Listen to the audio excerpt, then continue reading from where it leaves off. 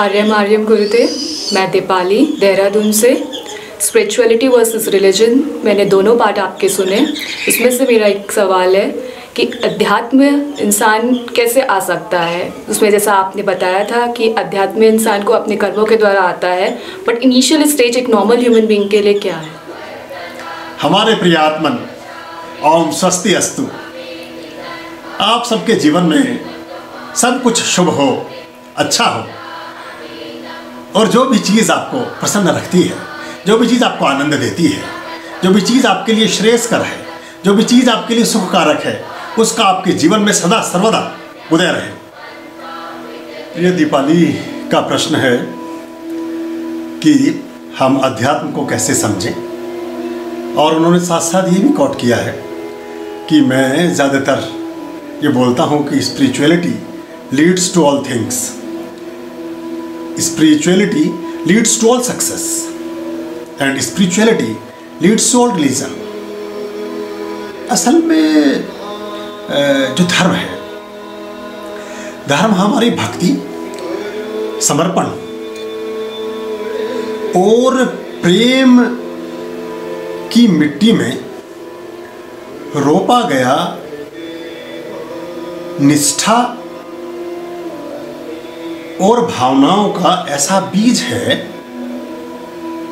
जब वह पुष्पित होता है, पल्लवित होता है, अंकुरित होता है तो वो एक पद्धति के रूप में, एक धर्म के रूप में, एक संप्रदाय के रूप में, या एक पंथ के रूप में स्थापित होता है।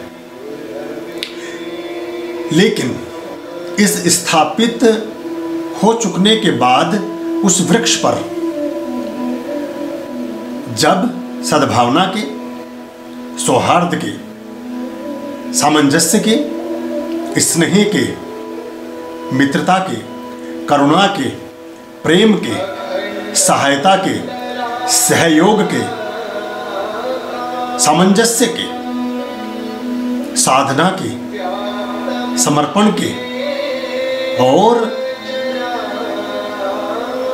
परमात्मा के प्रति सच्चे अनुराग के फूल खिलते हैं। तो उन खिले हुए पुष्पों से जो सुगंध सुवासित होती है, मैं उसको अध्यात्म कहता हूँ। धार्मिक होना बहुत आसान है। उससे भी बहुत आसान है सांप्रदायिक होना। लेकिन आध्यात्मिक होना ये एक बड़ी बात है। ये बहुत ऊँची बात है। ये आपका अपने स्वत्व को, अपने आप को इतने ऊँचे पायदान पर स्थापित और स्थित कर देना है, जो प्राय असंभव होता है। इसलिए धार्मिक गुरु तो बहुत हो जाते हैं। धर्म के मानने वाले बहुत हो जाते हैं। धर्म के अनुयायी बहुत हो जाते हैं। धर्म के रास्ते पर चलने वाले अनुगामी बहुत हो जाते हैं। लेकिन आध्यात्मिक कोई विरला ही होता। है आध्यात्मिक है, वो व्यक्ति जो परमात्मा के संपूर्ण अस्तित्व के प्रति, परमात्मा के संपूर्ण अस्तित्व के प्रति अनुग्रहित है, धन्यवाद से भरा है, शिकायतों से नहीं भरा है, जो होशपूर्वक है, जो किसी गमले को रिक्त देखकर या किसी पौधे से सजा हुआ देखकर उसमें थूकने की कभी कल्पना भी नहीं करता, बल्कि ऐसी किसी मिट्टी या ऐसे किसी स्थान को देखकर उसमें किसी बीज को रोपने का संकल्प और विचार जिसके हृदय और मन में आता है, उसे भी मैं आध्यात्मिक कहता हूँ। अब इस समय जो दुनिया में सिचुएशन है, आठ अप्रैल आज चैत्र पूर्णिमा का दिन है, जब मैं आपसे ये बात कर रहा हूँ। और आज जो सिनेरियो है पूरे विश्व में, वो किम कर्तव्य विमूढ़ का है। अब किम कर्तव्य विमूढ़ क्या है? ये एक शब्द आता है हमारे भाषा शैली में, भाषा विज्ञान में, भाषा के प्रचलन में। जब किसी भी व्यक्ति को ये ना सुझाई दे, ये ना दिखाई दे कि उसके लिए सम्यक मार्ग क्या है, उसके लिए आसान रास्ता क्या है, उसके लिए उचित और अनुचित क्या है, वो अवस्था होती है किम कर्तव्य विमूढ़ की। अभी पूरी दुनिया में जो बहुत ताकतवर हैं उनको भी कुछ पता नहीं है कि वो किस दिशा और किस दशा में जाने वाले हैं और जा रहे हैं। जो अपने आप को बहुत बड़ी महाशक्तियाँ समझते थे, उनको ये समझ आ गया है कि प्रकृति के सामने आप सदा सर्वदा बोने ही थे और बोने ही रहेंगे। अब ऐसे में जो हमारा वास्तु का नियम है कि सूर्य जहाँ से उदित होता है, वहाँ अध्यात्म का अधिक प्रादुर्भाव होता है। नॉर्थ ईस्ट जो पूरे विश्व का है, इन नॉर्थ ईस्ट में जो सुदूरवर्ती देश हैं, उन देशों में आफत आएगी तो उतने ज़्यादा लंबे समय नहीं रहेगी। वहाँ विद्यमान आध्यात्मिक मूल्य इससे उसको ओवरकम करेंगे। देखिए, जापान अभी सुरक्षित है। भारत में भी उतना डैमेज नहीं होगा। कुछ लोगों की अगर जो हम, जो तकलीफ़ी जमात है कुछ लोग हैं जिनको तकलीफ़ में ही रहना है। उससे किसी धर्म का ताल्लुक नहीं है। वो हिंदुओं में भी हो सकते हैं, जो तकलीफ़ में रहते हैं, और वो मुस्लिमों में भी हो सकते हैं, जो तकलीफ़ में रहते हैं। वो जैनी भी हो सकते हैं, वो पारसी भी, वो यहूदी भी हो सकते हैं, और वो क्रिश्चियन भी, वो बुद्धिस्ट भी हो सकते हैं, और जैन भी। उसका कोई, ये मनुष्य की बात है। ये ये व्यक्ति की बात है। ये विचार की बात नहीं है, ये देशना की बात नहीं है, ये संस्कार और सरोकार की बात नहीं है, ये व्यक्ति की बात है। और व्यक्ति की जब चलती है तो वो चीज़ों को खराब करता है। तो जो तकलीफ़ में रहने वाले लोग हैं और दूसरों को तकलीफ़ बांटने वाले लोग हैं, उनको आप छोड़ दें। मैंने पहले भी एक, पहले अपने डिस्कोर्स में इस बात का उल्लेख किया था कि इसमें लाखों लोग प्रभावित होंगे और हज़ारों जाने जाएँगी। क्योंकि जिस कालखंड में जिस लॉन्गिट्यूड और लेटीट्यूड में, जिस रेखांश और अक्षांश में इस बीमारी का जन्म हुआ है, वो समय लेगी, वो समय लेगी। हमारी गणनाओं के अनुसार तो ये बीमारी सितंबर में जन्म ली होगी, चीन में। लेकिन ये शिनाख्त होते होते नवंबर आया और डिक्लेयर उन्होंने दिसंबर में की, और अब चल रहा है अप्रैल। यानी सात महीने से चीन इस बीमारी से जूझ रहा है। और अभी वहाँ फिर से कुछ नए वायरस जैसे हमने कहा था कि नई बीमारियाँ, नए वायरस आने की संभावनाएँ हैं। असल में लाखों करोड़ों साल से हिमालय के सुदूरवर्ती क्षेत्रों में, हिमालय की गहनतम ऊंचाइयों में जो बहुत सारे जीवाश्म और ऐसे कीटाणु, ऐसे विषाणु, ऐसे बैक्टीरियाज जो लाखों साल से दबे पड़े हैं, वो पृथ्वी का जो हम तापमान बढ़ा रहे हैं, जो ग्लेशियर पिघल रहे हैं उससे बह करके वो धरती पर ही आने हैं और उनसे महामारी और इस तरह की प्रॉब्लम्स फैलती ही फैलती है, ये होना ही होना होता है। अब ऐसी सिचुएशन में जीवन और मृत्यु, किसी भी व्यक्ति का वास्तविक आकलन तब होता है जब वो किसी भी परेशानी में या किसी भी विपत्ति में या किसी भी विपदा में ऐसी स्थिति में आकर के खड़ा हो जाए जहाँ उसके जीवन और मरण का प्रश्न हो। तो कमोबेश हम ऐसी ही स्थिति में खड़े हैं कि जहाँ जीवन और मरण का प्रश्न है ऐसे में भी जिस व्यक्ति का संकल्प जिस व्यक्ति का चरित्र जिस व्यक्ति का व्यवहार जिस व्यक्ति का विचार जिस व्यक्ति का आचार जिस व्यक्ति का कार्यकलाप जिस व्यक्ति की बॉडी लैंग्वेज जिस व्यक्ति की भाषा शैली जिस व्यक्ति की वोकेबलरी जिस व्यक्ति का वाक्य विन्यास जिस व्यक्ति के शब्दों का चयन संतुलन में है और एक शुचिता और शुभता लिए हुए है वो व्यक्ति आध्यात्मिक है। और जिसका नहीं है, वो गैर आध्यात्मिक है। नरेंद्र मोदी जैसे व्यक्ति का इस कालखंड में भारत का प्रधानमंत्री होना, ये यहाँ हज़ारों साल से की जा रही ऋषि मुनियों की तपस्याओं का सुफल है। बहुत से लोगों को मेरे इस बात से परेशानी होगी, लेकिन होती रहे। समय के कालखंड पर जो सच है, उसको कहना ही पड़ता है। मैं किसी का प्रवक्ता कभी नहीं रहा और प्रधानमंत्रियों का या जो शासना अध्यक्ष रहे हैं, उनका मैं कभी भी नहीं रहा।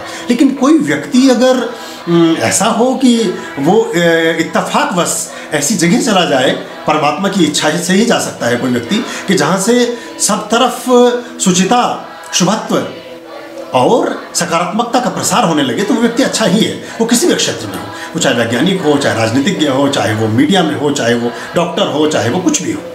और जो नहीं है, उसको भी शिनाख्त करने का वक्त है ये। इस समय आपको बहुत सारी चीज़ों को सिखा कर जाएगा। अगेन दीपाली के प्रश्न से हम पृथक ना हूँ। उसका प्रश्न था कि आध्यात्मिक व्यक्ति कौन है? जिस व्यक्ति के हृदय में करुणा का भाव है। जो व्यक्ति दूसरों के दुखों से दुखी है। जो व्यक्ति दूसरों के सुखों से प्रसन्नचित है। जो व्यक्ति दूसरों की प्रसन्नता को बढ़ाना चाहता है। जो व्यक्ति दूसरों की आरोग्यता को बढ़ाना चाहता है। जो व्यक्ति अपने साथ साथ दूसरों के दुखों का समाधान करने का उत्सुक है। जो व्यक्ति अपने पड़ोसी के घर में बुझे हुए चूल्हे को देख करके दुखी है और सोचता है कि उसके घर में चूल्हा क्यों नहीं जला, या मैं उसमें क्या मदद कर सकता हूँ कि वो मेरा पड़ोसी भी आनंदपूर्वक रात में नींद ले सके, वो व्यक्ति आध्यात्मिक है।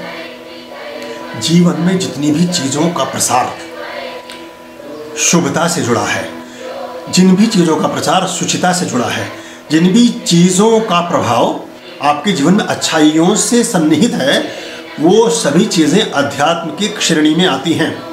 अध्यात्म के क्षेत्र के अंतर्गत आती हैं और जो व्यक्ति इन चीज़ों को आत्मसात करता है, वो आध्यात्मिक है।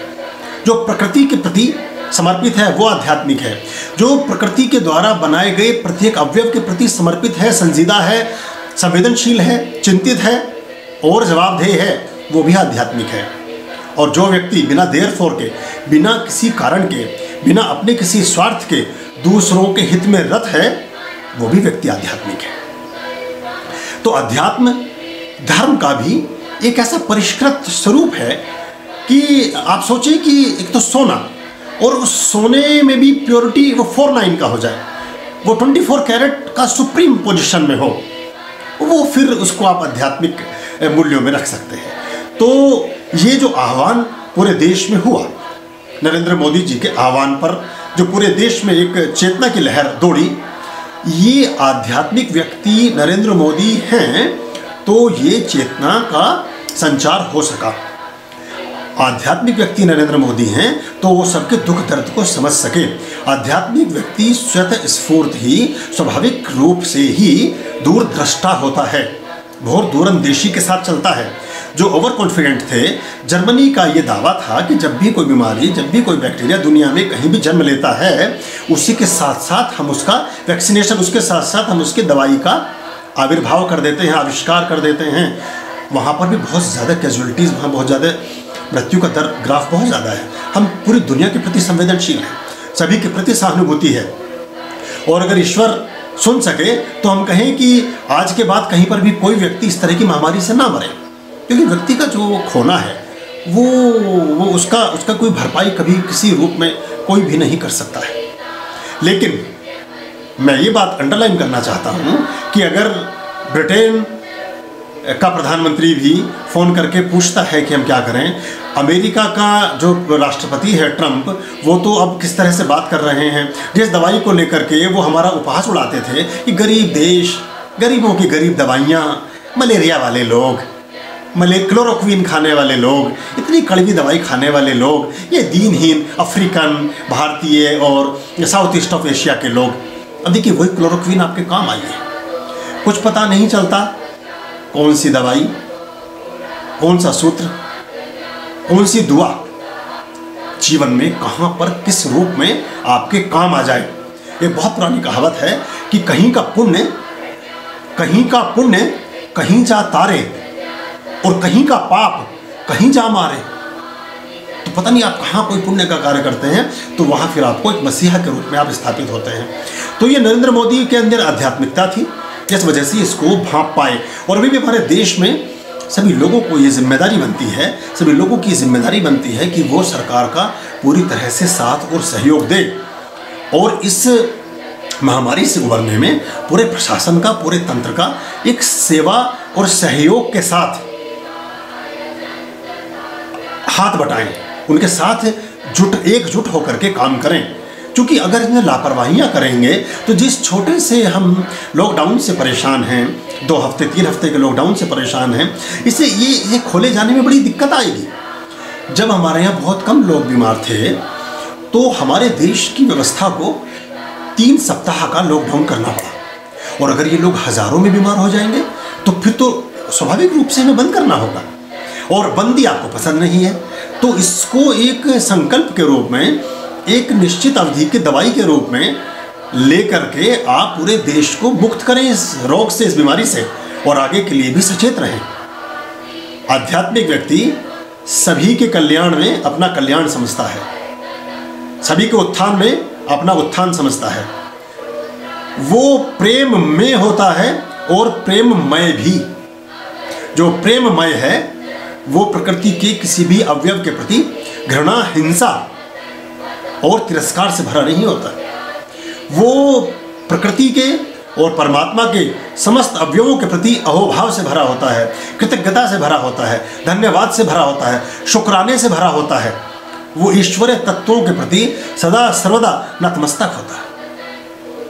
ओम स्वस्ति अस्त।